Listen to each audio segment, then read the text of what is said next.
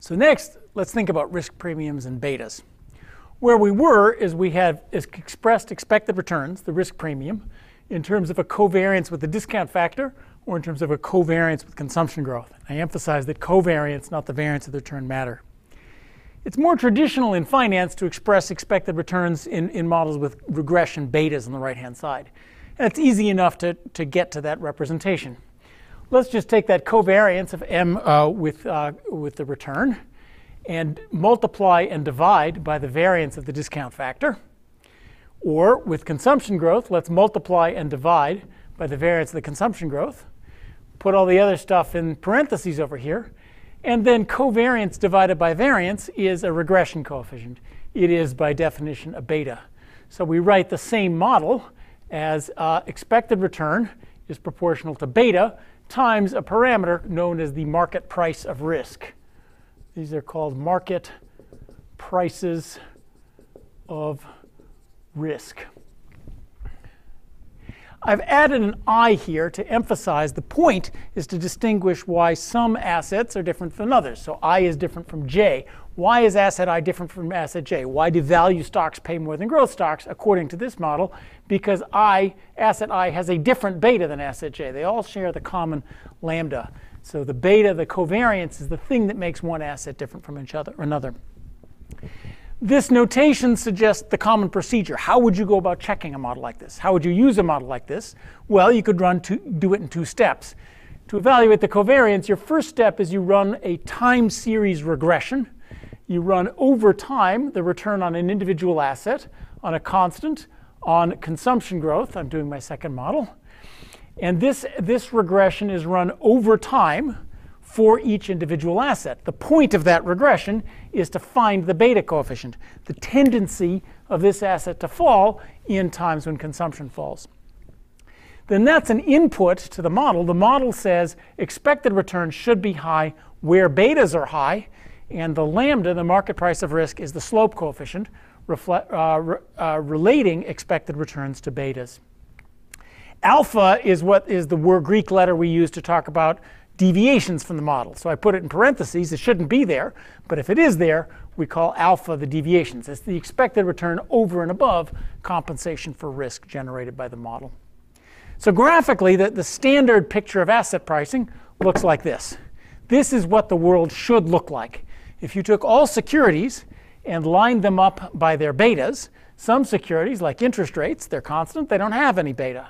Other securities, when consumption growth goes up and down, they have whatever betas they have, but their expected return should line up with their betas. The ones with higher tendency to fall in bad times have to pay their investors higher expected returns to get those investors to hold them. Lambda is the slope coefficient in this relationship. When you get a higher beta, that tells you how much more expected return you have to pay. And alpha is what we call the deviation from the relationship. Here's an asset with alpha. It's giving its investors higher expected returns than, its, uh, than the compensation for risk that they should need to get.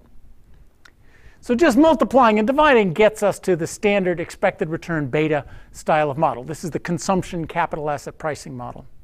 Now, a few comments on this model. First of all, the notation is traditional, but watch out here.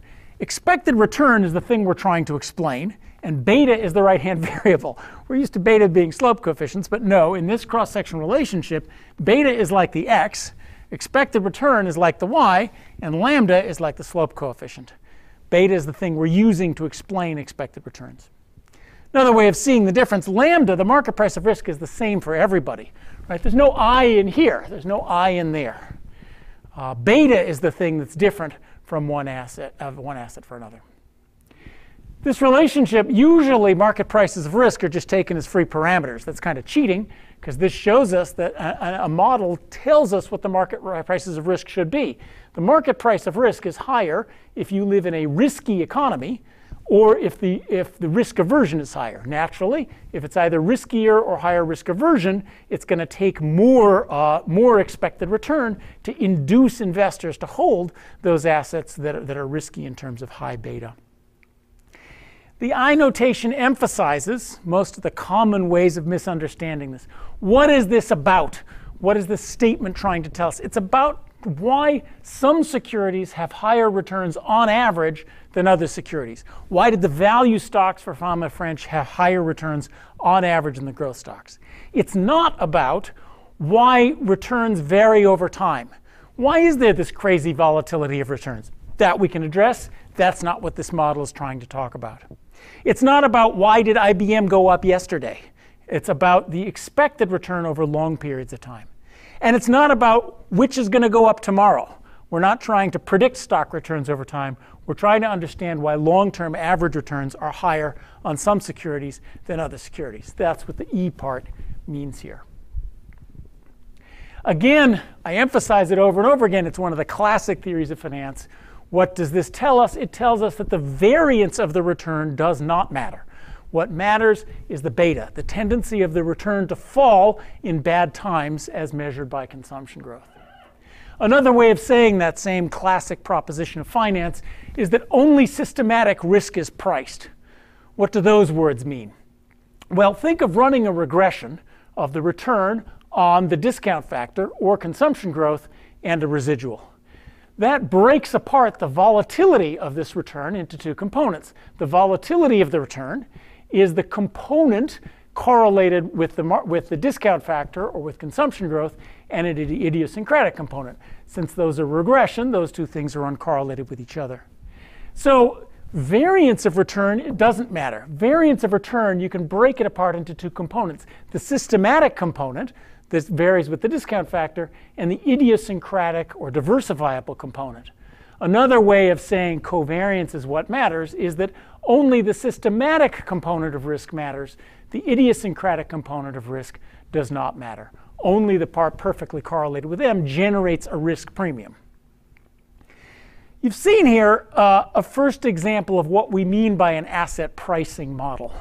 We have a general theory in terms of a discount factor, but to make it operational, to know what to run regressions on, we need something to translate to connect the discount factor to real data.